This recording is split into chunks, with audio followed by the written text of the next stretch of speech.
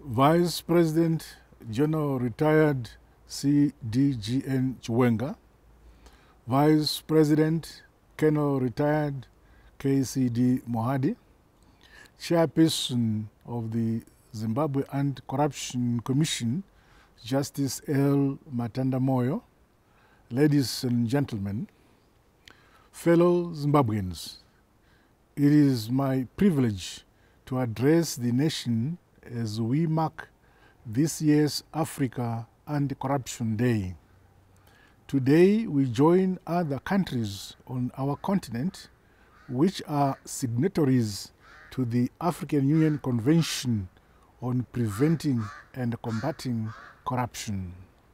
This is an important continental instrument outlining comprehensive standards, measures and rules to strengthen the practices, governance and regulatory framework to effectively fight corruption.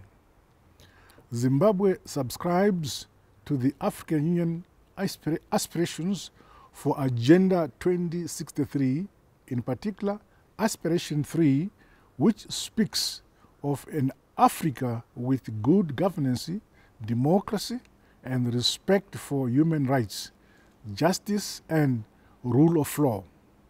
Our country has also signed and domesticated other SADC and the United Nations legal instruments against the scourge of corruption. Moreover, we honor our various reporting obligations on this matter.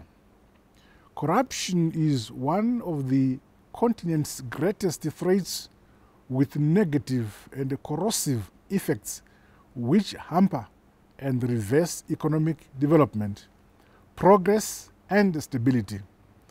Its negative impact cannot be downplayed. Similarly, the fight against corruption remains a serious and a complex challenge. Networks of corruption are becoming more and more sophisticated, permeating all sections of our society. The need to build strong and robust institutions to ensure that all our assets and natural resources benefit the majority rather than line the pockets of a few remains paramount and urgent. At the advent of the Second Republic and upon my assumption of the office of President, my government prioritized the fight against corruption and declared zero tolerance to this vice. To this end, we continue evaluating progress in fighting corruption and have made several changes to legislation and adopted best practices. Specifically, the Zimbabwe Anti-Corruption Commission was reconstituted and capacitated to better deliver on its mandate as outlined in our national constitution. In addition, we established one, special anti-corruption courts, two, a new special anti-corruption unity within my office, three, enacted the Public Entities Corporate Governance Act, and four, required cabinet members to declare their assets. The retraining and reorientation of personnel involved in the fight against corruption is ongoing. Enactment of the independent complaints mechanism as outlined in section 210 of our national constitution must be expedited. There is ample evidence of my administration's resolve to crack down on corruption and to improve work practices across the public sector towards enhancing accountability and transparency. To complement these efforts, an active, involved and empowered citizenry with the appropriate values and practices which are averse to corruption is of paramount importance. Furthermore, I challenge the private sector, civil society, political parties, churches, and other socio economic groups to cultivate integrity and high ethical standards in the execution of their various functions. Members of the criminal justice system and those in institutions tasked to fight corruption must improve on the investigation into and prosecution of corruption cases. They must be above reproach and must ensure that all cases of corruption within their rank and file are thoroughly investigated with corrupt officials punished. The culture of long drawn out prosecutions and the catch and release syndrome must come to an end. The arrest and successful prosecution of corrupt, big and small fish alike must be the new normal. Ladies and gentlemen, as citizens, rest assured and be emboldened by the political will demonstrated by my government in the fight against corruption.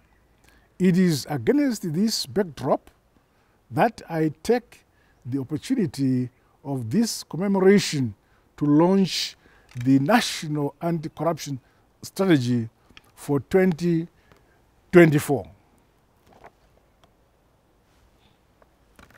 This strategy is a roadmap in the fight against corruption in Zimbabwe as we accelerate our quest to achieve Vision 2030.